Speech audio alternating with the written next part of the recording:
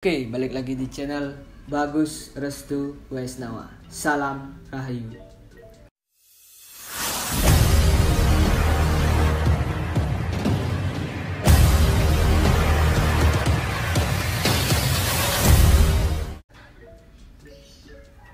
Oke, sebelum kita lanjut video ini, teman-teman jangan lupa like, komen, dan subscribe. Dan jangan lupa tekan tombol lonceng. Tanpa basa-basi lagi, kita langsung saja memperkenalkan eh, teman saya yang ada di samping saya. Oke, silakan deh. Baik, Om Swastiastu. Perkenalkan nama saya Iputu Ade Sastra Wiguna. Uh, umur saya 19 tahun menuju 20 tahun. Nah, Asal Saya berasal dari Banyasese Singapadu. Singapadu. Oke. Oke, tanpa basa-basi lagi, kita langsung ke pertanyaan-pertanyaan yang sudah ada. Oke, kita langsung saja dengan pertanyaan yang pertama, yaitu dari Dewo double A Dewo Adi underscore. Di umur berapa belinya mulai bisa membuat tapel? Di umur berapa belinya mulai bisa membuat tapel? Kalau bisanya sekarang sebenarnya uh, sebelum belum se sebegitu bisa. Artinya saya Masih masih proses belajar. Iya. Oke. Oke, kita lanjut ke pertanyaan yang kedua dari Bali titik gelap. Siapa guru yang mengajarkan membuat topeng beli suksemo? Siapa guru yang mengajarkan membuat topeng? Siap. Saya belajar dari dua guru. Yang pertama uh, ada almarhum Pak Wayan Wardike atau biasa disebut dengan Pak Yandrike. Ya. Terus yang kedua ada tetangga saya yang bernama Pak Palasio. Saya belajar dari dua guru, artinya secara langsung belajar di di tempatnya masing-masing. Oke, berarti belajar dari dua guru. artinya banyak lah artinya guru-guru yang mengajari saya ada Eh, eh. artinya saya mencari ilmunya artinya seperti Pak Turkodi Ya. adiknya Pak Dimangku Setiarke dan Toko Tisnu artinya saya banyak bertanya bertanya ke orang yang lebih paham tentang topeng ini Topeng, ya betul. Oke. Oke, kita lanjut lagi pertanyaan ketiga dari Krishna underscore Pratama. Kenapa bisa tertarik mendalami proses pembuatan topeng, khususnya topeng Bali? Kenapa bisa tertarik? Kenapa bisa tertarik mendalami proses pembuatan topeng khususnya topeng Bali? Iya. Eh, tertarik. Kenapa bisa tertarik?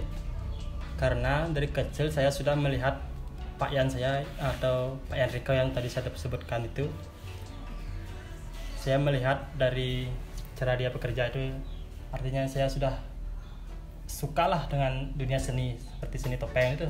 Ya, khususnya topeng. khususnya topeng dari sanalah dia yang mulai tertarik untuk belajar membuat topeng Heeh. karena melihat dari karya-karya Pak Yan Janiko Oke, dari melihat awalnya berarti ya tertarik. melihat Oke, kita lanjut ke pertanyaan berikutnya.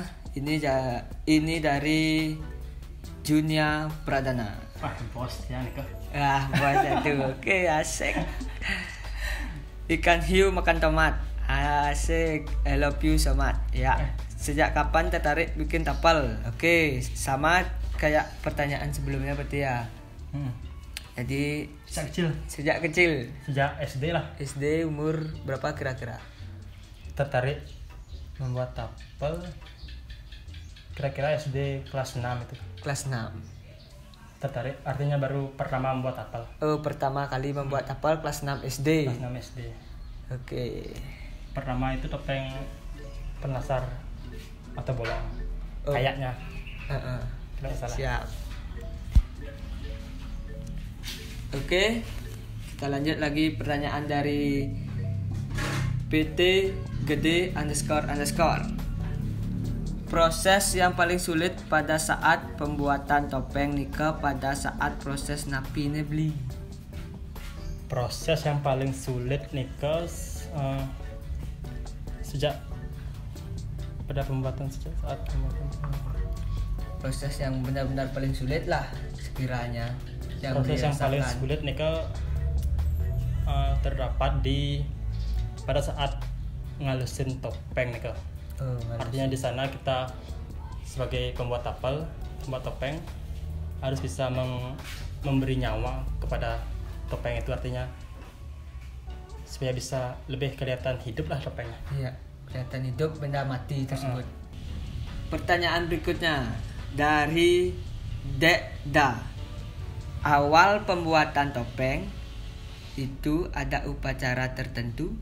awal pembuatan topeng itu ada upacara tertentu pastinya ada seperti eh, ngaturan pajati nih ke di kayu nih ke artinya lunas kelancaran untuk berkarya supaya diberi kelancaran keselamatan dan karyanya sem- eh, semakin taksu lah Iya, semakin taksu, semakin percaya diri untuk melakukan atau berkaryanya. supaya dituntun oleh Widi. Dia sangat widi oleh Tuhan. Oke.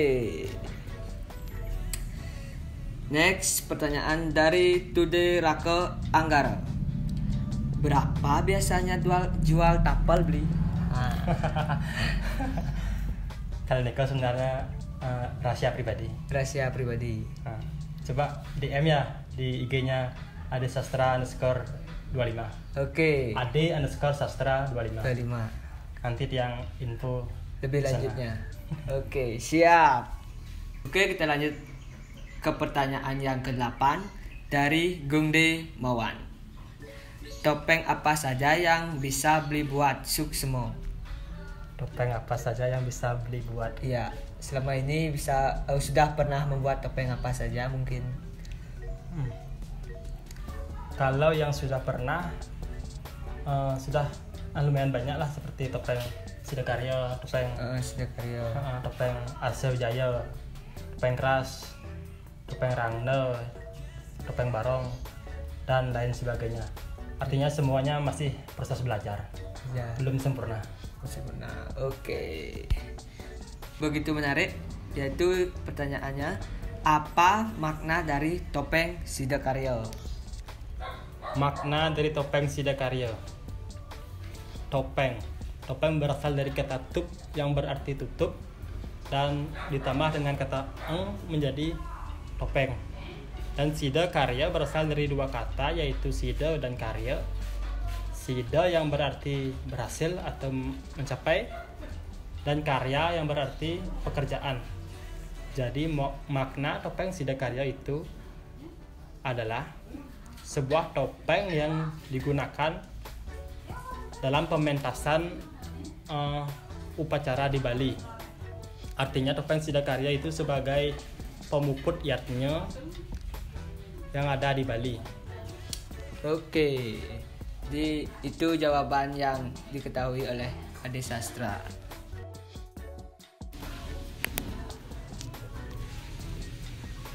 Dah, ulang ulang. Macet lagi. Ini lah depan lah. Ada di mana sana depan?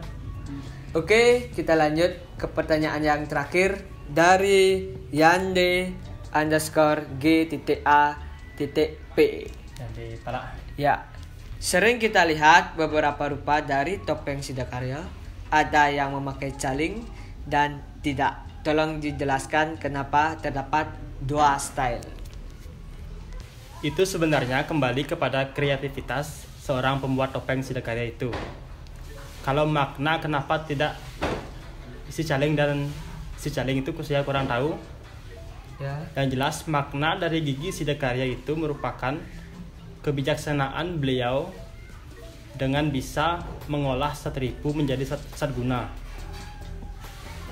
Eh, secara umumnya topeng Sidakarya Nika sebenarnya tidak terisi caling Oke, seperti itu yang Ade ketahui. Oke. Oke, teman-teman. Sekian pertanyaan-pertanyaan yang sudah dijawab oleh Adi Sastra. Mungkin sekian dulu video dari saya. Terima kasih yang sudah menonton sampai habis.